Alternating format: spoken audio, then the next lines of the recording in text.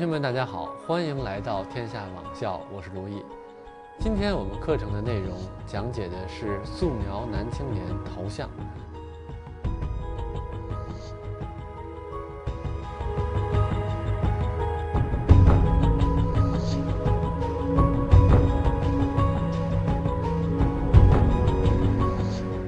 五官的刻画，发型的表现。尤其是五官中的鼻子的表现，还有就是整个的这种衣服肩的厚度和体量等。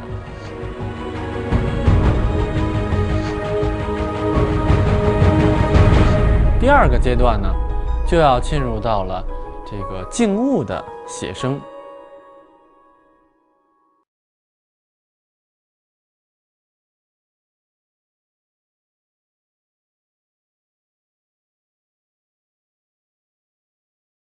好，同学们，大家好，欢迎来到天下网校，我是卢毅。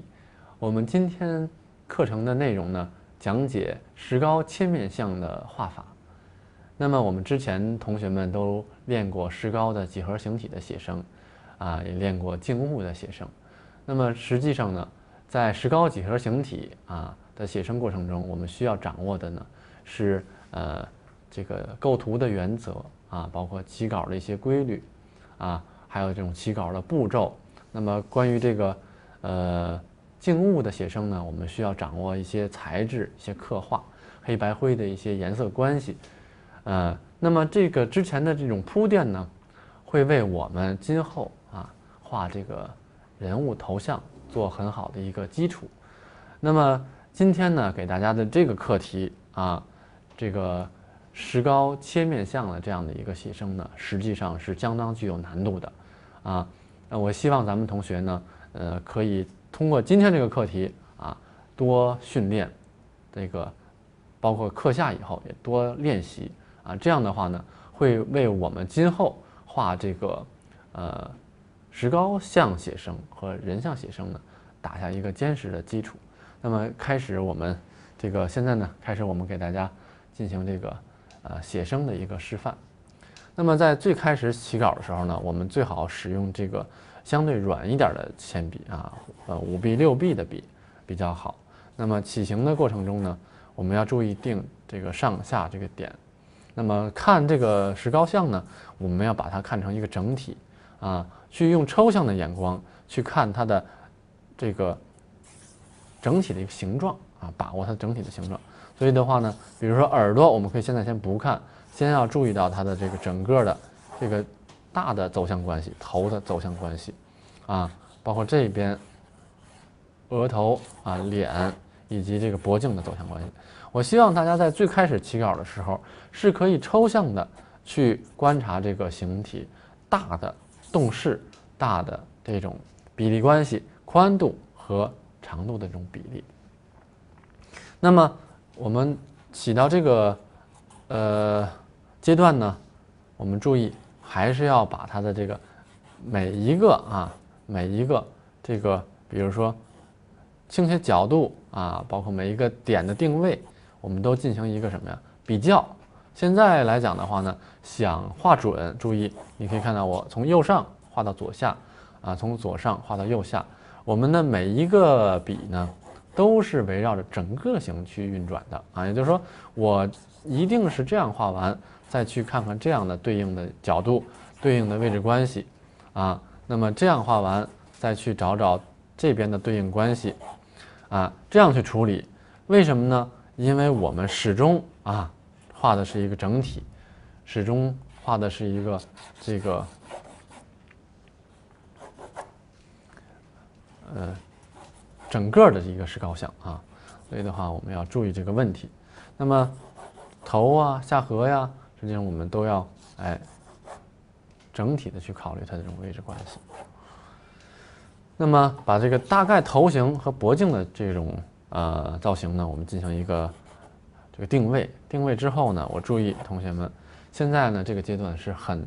很重要的一个阶段啊，也就是说我们这个阶段来讲的话呢。很多同学就觉得无从辨别啊，所以我建议同学们，如果你在这个学画画的过程中啊，你这边有这个老师啊在旁边辅导的情况下，我建议你在这个阶段，就是画到这个阶段的时候啊，多拿给老师去看，让老师给你去挑毛病啊，去给你指出问题。为什么呢？因为当你这个阶段啊，你自己都会判断出来我这个能画得准的情况下，那么你的能力啊，你的能力就会有一个质的飞跃啊。换句话说，你在这个阶段如果有很好的老师给你去判断。说你这块哪儿不准，哪儿不准。而当你都已经在这个阶段能调准了的情况下，那么你的这个实际的能力是已经有了一个长足的进步啊。我们看到这个呃状态，我发现哪儿有问题，我也自己又进行一个修改。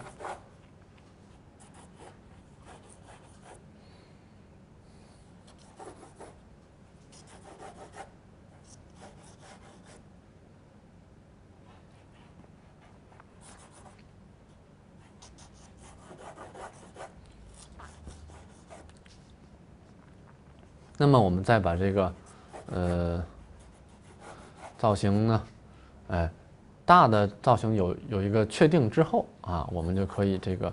进行一个呃脸型的一个定位啊，正面、侧面。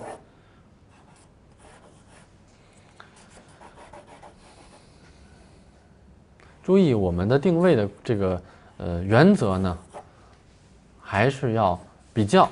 而且呢，之前我们讲过。这个宁脏勿净啊，宁方勿圆，是吧？这个我们要用一种很很有一种理性的啊，带有这种比较的啊，呃切面的这种思路和态度去进行一个判断啊。那么这个过程中呢，我们实际上就是在理解这个空间的造型了，在理解这个形体了。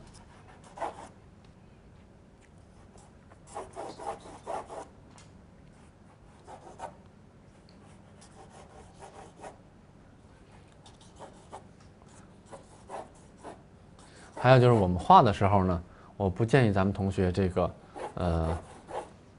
嗯，怎么说，过于局部的去处理啊，还是要，呃，比较啊，而且呢，当你画这个，呃，某一个造型的时候，你看不懂也无所谓，你就给它一个定位啊，大概的一个处理就 OK 了。所以的话，有些辅助线，你可能在画的过程中。你都不知道它到底是有什么用啊，或者说你都不知道它是什么呀？到底是一个什么样的呃呃具体功能？但是呢，你感觉在那个位置啊，就也就比如在我们说在这个你需要的一个位置，它需要它确实有这样一条线存在，或者说它需要通过这条线去联系到周围的这种造型，那么你 OK，你就可以大胆的去加一些线啊？为什么呢？因为我们在画的这个。嗯呃，结构的过程中啊，画结构的过程中，我们是完全可以允许同学主动的去呃添加一些辅助辅助线啊，添加一些辅助线去进行一个什么呀？呃，反复的比较啊，进行一个比较的。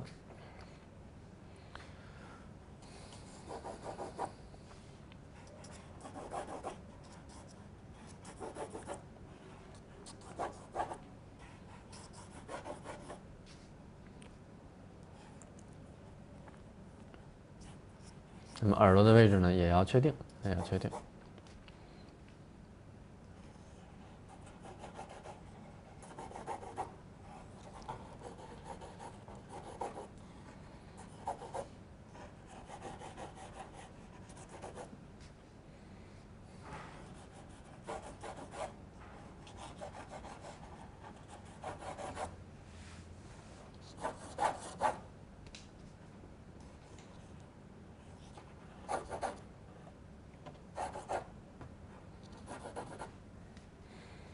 画的过程中的心理状态呢，还是要注意，呃，是要尽可能的放松啊，不要太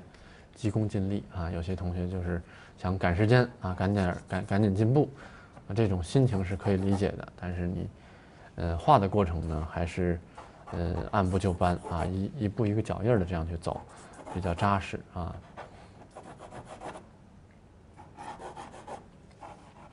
大家发现这个。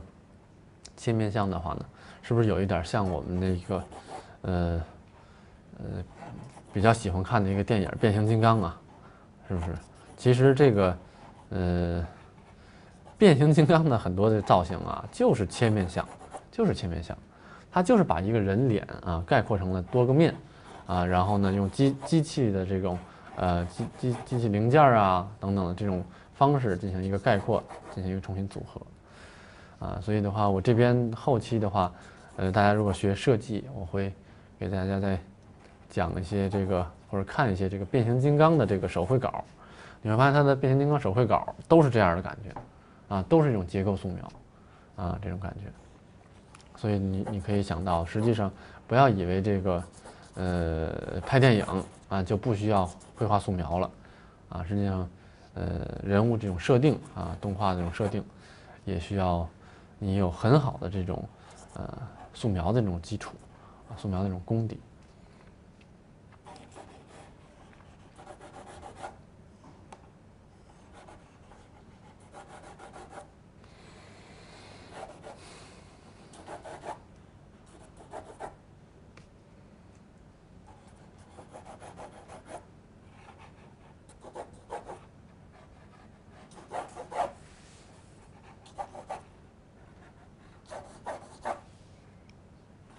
还有就是你画错了的地方，在最开始不用不用特别着急去，呃，擦掉啊？为什么呢？因为你，呃，这个可以用错的地方进行一个参考，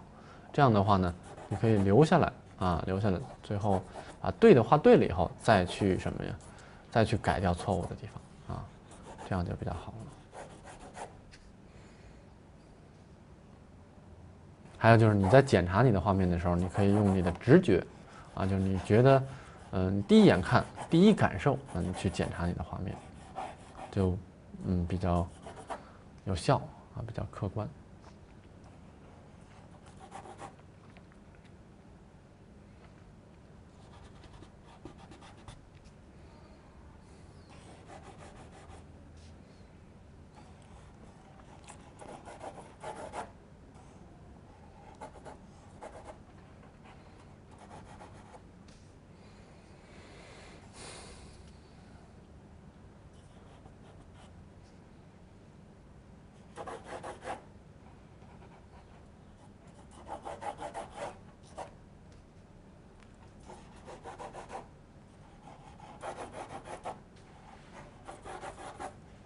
还有就是造型呢，你会发现越调越准啊，越调的话，你会慢慢慢慢慢慢把它的这种结构，慢慢就有一个很好的一种把握啊。越调的话呢，你会发现越，呃，接近于它这种最精准的一种状态啊。所以都画画结构素描的同学